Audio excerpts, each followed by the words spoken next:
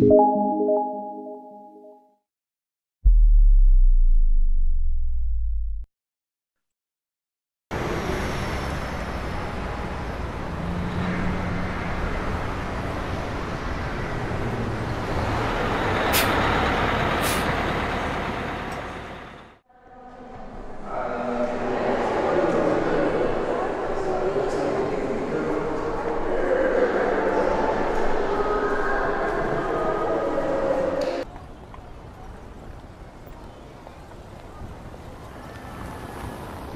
Então, como é que correu a entrevista? Como as outras. Bem, Pois, mas continuas sem trabalho, não é? o que é que queres? Não faço de propósito. Pois não. Ah, bem, vamos à Cinemateca? Claro que sim.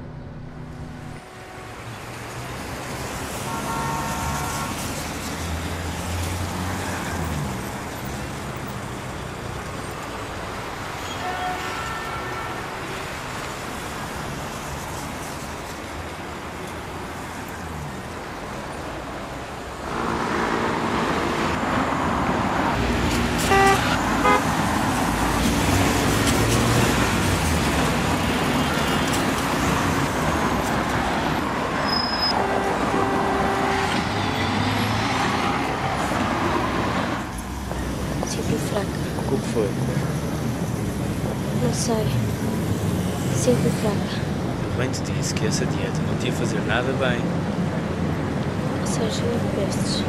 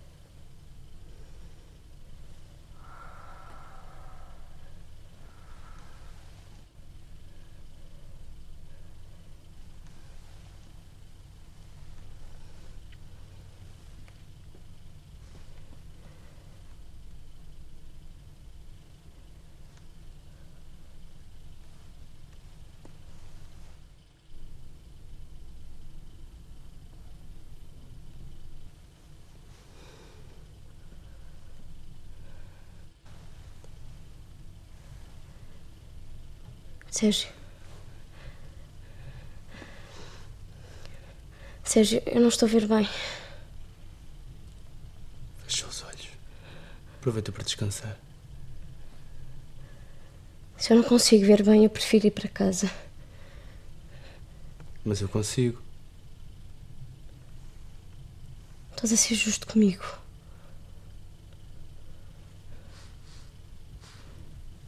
Eu não tenho a culpa que não estejas a ver. Nem eu.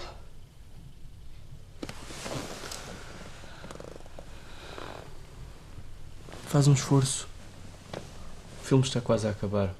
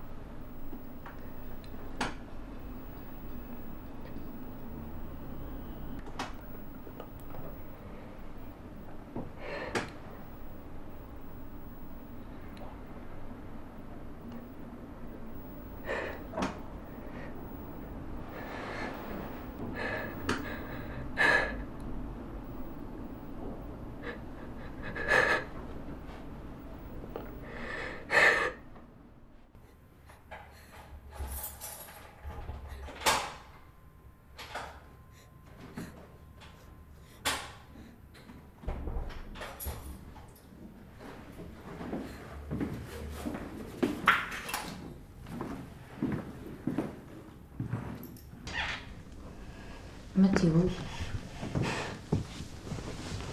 O que é que se passa? Estava na avenida. Estava com Sérgio. Eu comecei a ver tudo. Eu não consigo ver. O quê? Eu não consigo ver, claro. Matilda, calma-te, olha para mim.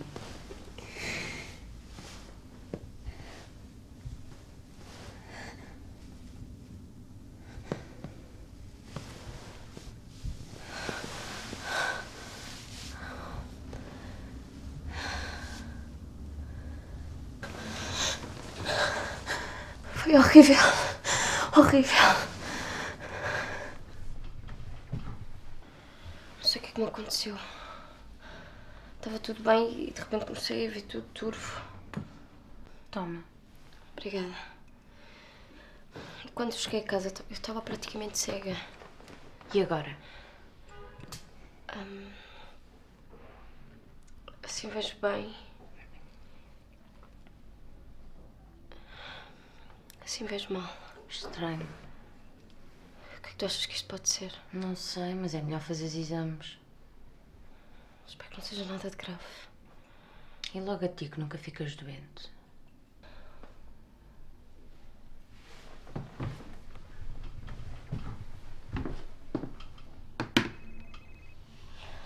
Deve ser o Sérgio. Diz-lhe que eu falo com ele amanhã.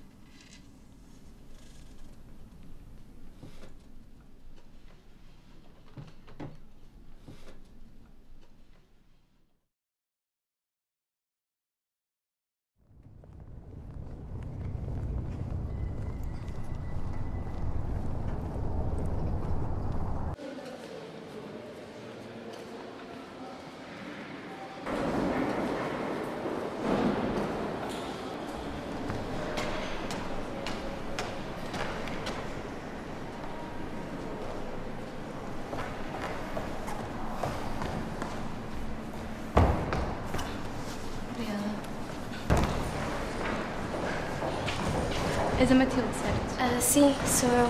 Sou a Rita. Prazer. Também faltaste à primeira fase. Assim tive que faltar. Fiquei doente de um dia para o outro. E já sabes porque é que isso te aconteceu? Ahm, o médico diz que deve ser do stress, mas eu ainda estou à espera do resultado dos exames. Credo, não me olhes assim. Desculpa, mas parece que estás com ar doente.